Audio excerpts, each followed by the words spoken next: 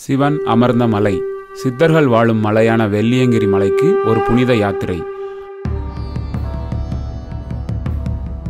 மண்டல விரதமிருந்து ஈசனை தரிசிக்கச் செல்லும் யாத்திரை. இந்த வெள்ளங்கிரி மலை தென்கைலாயம்னு சொல்லுவோம். எதுக்கு தென்கைலாயம் சொல்லுவோம்னா?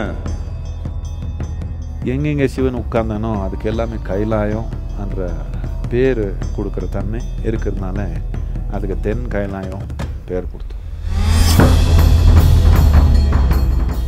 யோக கலாச்சாரத்தில் பார்த்தீங்கன்னா இந்த வெள்ளங்கிரி மலையில் பல பேர் யோகி சித்தர் எல்லாமே வாழ்ந்தது இருக்குது. அது மட்டும் இல்லை ஆதி யோகியே வந்து மூணரை மாதம் தங்கினாங்க.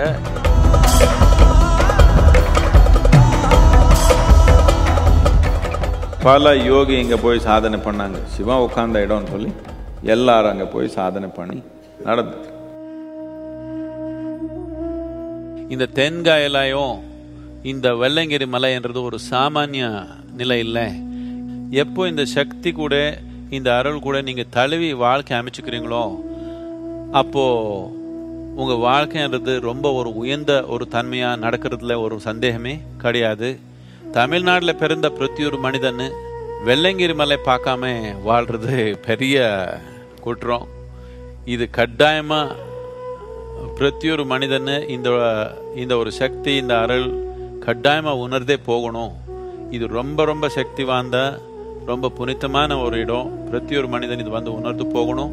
இந்த பிரதேசத்தில் இவ்வளோ ஒரு சக்தியான ஒரு உருவம் இங்கே வச்சுட்டு நாம நாம் எதுக்கு போராட தேவையில்லை? எப்படியோ வாழைக்க முடியும் நாம். கொஞ்சம் அது கூட தொடர்பு வச்சா.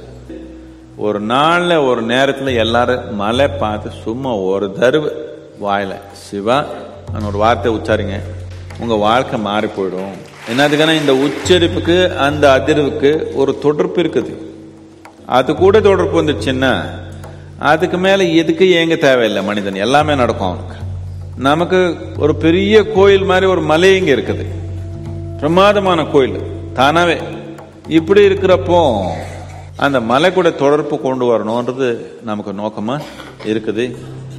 நாற்பத்தி ரெண்டு நாட்கள் மண்டல விரதம் இருந்து சக்தி வாய்ந்த சிவநமஸ்காரம் பயிற்சி செய்து புனிதமான வெள்ளிங்கிரி மலைக்கு யாத்திரை செல்லும் அற்புதமான வாய்ப்பை வழங்குகிறது சிவாங்கா சாதனா.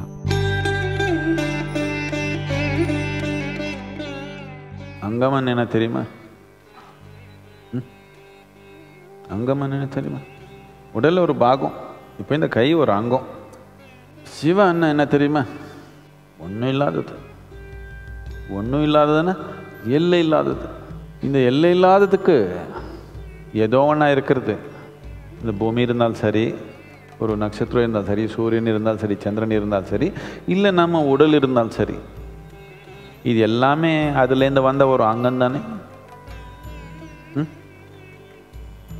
நம்ம எல்லாம் சிவாங்கம்தான் இந்த நாற்பத்தி ரெண்டு நாள் இந்த சாதனை இந்த உணர்வு உணர்வு பூர்ணமாக உயிர்நிலையில் கொண்டு வர்றதுக்கு ஒரு கருவி.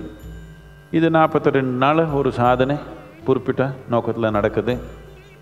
எப்போ இந்த சிவ சிவத்துக்கு நாம் அங்கமாக இருக்கிறோமோ இப்போது போராட்டம் இல்லாத ஒரு வாழ்க்கை. ஆரோக்கியம் வெற்றி செல்வம் இது எல்லாம் நாம் போராட தேவையில்லை. நீங்கள் இது புரிஞ்சாலும் சரி புரியலேனாலும் சரி எப்படியோ நீங்கள் சிவாங்கம் தானே. ஆனால் உணர்வு பூர்ணமாக புரிய வைக்கிறதுக்காக நாற்பத்தி ரெண்டு நாள் சாதனை. இந்த கோயிலுக்கு மாலையும் போட மாட்டேன் மாலை போட்டாலும் கிண்டல் பண்ணுவேன். நானே இப்போ மாலை போட்டு ஒவ்வொரு வருஷமும் தவறாமல் வந்துட்டுருக்கேன். வார்த்தை இல்லை சொல்லதுக்கு ஏன்னா அது உணர்ந்தால் மட்டும்தான் முடியும். சிவ நமஸ்கார் பயிற்சியெல்லாம் பண்ணும்போது அஹ், உடல்லையும் மனதையும் ஒரு புது தெம்பு உற்சாகம் வரது. இந்த உடல் தாண்டி அந்த சிவனோட ஒன்றி இருக்கிற மாதிரி ஒரு உணர்வு. It's different. Something something which which can't be compared to anything else. One should come and definitely experience this once in lifetime opportunity. ஒரு கோவிலுக்கு போயிட்டு வந்தால் ஒரு பாத யாத்திரை ஏதோ போயிட்டு வந்தால் நமக்கு ஒரு மாதிரி ரொம்ப டயர்டாக ஒரு வீக்காக ஃபீல் பண்ணுவோம். இந்த மாதிரி இது இல்லாமல் ஒரு சக்தியோ நம்ம முழுமையாக இருக்கிற மாதிரி ஒரு சந்தோஷம் கிடைக்குது. அதுவும் இல்லாமல் இந்த பிக்ஷை வாங்கும்போது எனக்குள்ளே நான் கரையிற ஒரு என்ன நான் ஒரு முழுமையாக கரையிற ஒரு மாதிரி ஒரு ஃபீல் பண்ணுவேன்